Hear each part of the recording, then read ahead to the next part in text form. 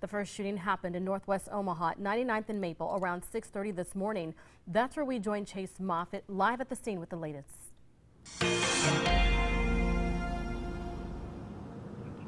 Yeah, Cerise, we're live here as investigators continue to comb through the scene, piecing together additional clues what led up to this scene. I'll step out of the frame here and get a better picture of what we're looking at. A live photo there. You can see glass on the ground, evidence markers as well.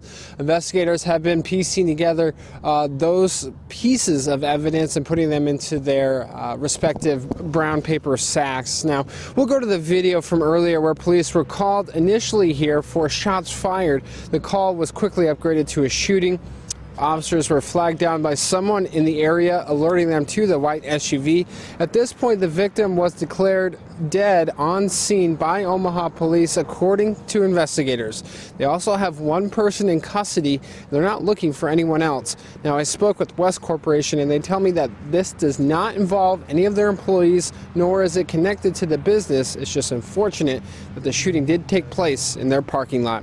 Now we continue to track the latest on one of the city's latest homicide. Again, this morning about 6:30 at this parking lot, officers were called actually to across the street, but again alerted to the scene here behind me. Again, investigators piecing together the information, details, and uh, evidence to get a better picture of what exactly took place here earlier this morning, leaving one man dead. Reporting live with photographer Mike Plews, I'm Chase Moffitt, WOWT 6 News.